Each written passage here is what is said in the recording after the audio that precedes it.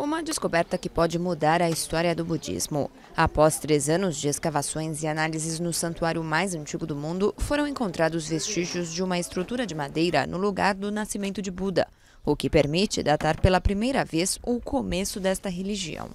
Estudos do material achado debaixo do templo Mayadevi em Lumbini sugerem que o sábio nasceu no século 6 a.C., dois séculos antes do que se pensava.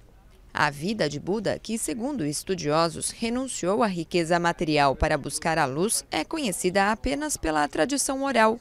Diz a lenda que quando a mãe de Siddhartha estava grávida, a caminho da casa dos pais, se agarrou a esta árvore, onde realizou o parto. Patrimônio da Unesco, Lumbini, que fica perto da fronteira com a Índia, é um dos centros de peregrinação mais importantes no budismo.